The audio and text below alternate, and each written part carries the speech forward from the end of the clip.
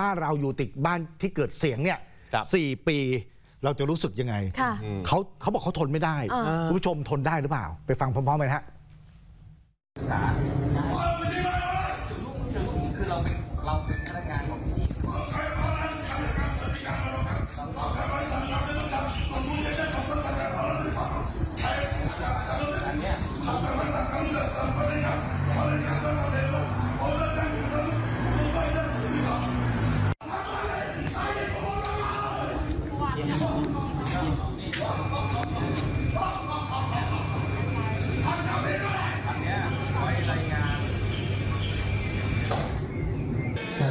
ขอล้วงมาเลยครับ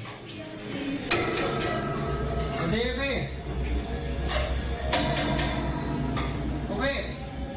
ขออนุญาตนะเจ้าหน้าที่ตำรวจครับ ช่วยปิดเพลงหน่อย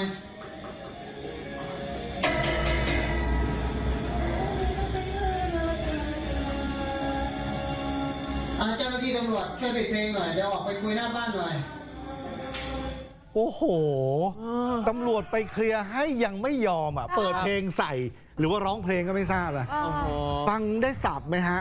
วงเล็บว่าเสียงสวดอะอืมเหมือนกับเสียงแบบโวยวายอะไรก็ไม่รู้อะดังมาก เหมือนขอเหมือนเขาเรียกว่าองค์ลงอะ เออ อารมณ์อย่างนั้นเลยนะค่ะก็โวยวายแล้วก็มีหัวเราะเออดังลั่นเลย เขาบอกว่าทุกวันทุกคืนอืม เจออย่างเงี้ยสี่ปี เมื่อกี้ผมถามผู้ชมไงให้เจอแบบนี้รู้สึกยังไง ผมว่าตอนเนี้ยได้คำตอบในแต่ละคนแล้วนะฮะ เป็นชายวัยประมาณ 50 ปี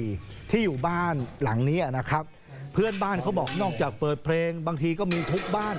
บางทีมีเหมือนกับสับหมูสับไก่อะปักปักปักปักปักเนี้ย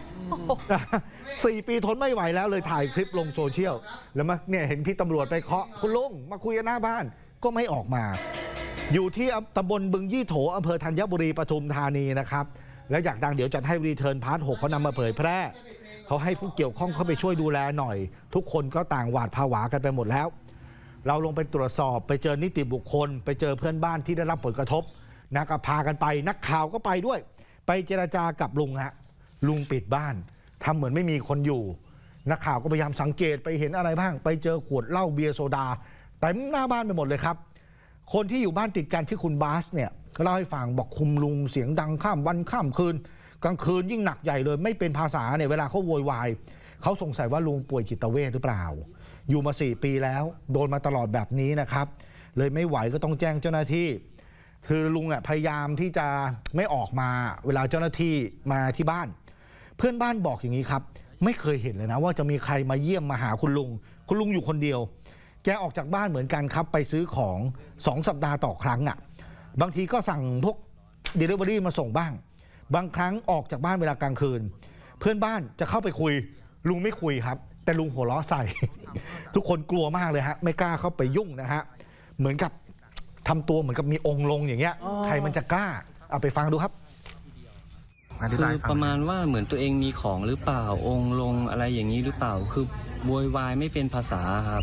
ตอนนี้แจ้งเขตไปแล้ว แจ้งตำรวจตำรวจมาก็ทำอะไรไม่ได้ครับ เห็นว่าเมื่อคืนตำรวจมาแล้ว ใช่ผมก็แจ้งพี่ตำรวจมาก็พี่ตำรวจก็เข้าไปในบ้านเขาไม่ได้เอ่อเรียกเขาออกมาคุยก็ไม่ได้ครับ เขาก็ไม่ยอมออกมา ใช่ครับ เพื่อนบ้านบอกว่าเคยเห็นคนมาเยี่ยมเหมือนกันนะหลังครับๆหายไปนานคือเหมือนกับปล่อยลุงอยู่คนเดียว แล้วตำรวจจะทำอะไรได้ เออ ได้แต่ตักเตือน อืม แบบนี้นะครับ ก็เลยบอกเอาหน่วยงานไหนก็ได้ มาช่วยหน่อยแล้วกันไม่ไหวแล้ว นิติบุคคลเขาก็ไปตรวจสอบนะฮะโอ้โหแล้วบ้านคุณลุงเนี่ยค้างค่าส่วนกลางมา 3 ปี แต่ก็ต้องเก็บขยะให้ครับ เพราะอะไรฮะเขาเรียกดื้อแพ่งอ๋อปกติเวลาที่ไม่จ่ายค่าส่วนกลางครับเขาจะปล่อยขยะไว้ไงอะค่ะแต่อันนี้ถ้าปล่อยไว้เพื่อนบ้านเดือดร้อนอืมเขาก็สงสารคนอื่นไงใช่สุดท้ายลุงไม่จ่าย เขาก็ต้องไปเก็บขยะให้นะครับ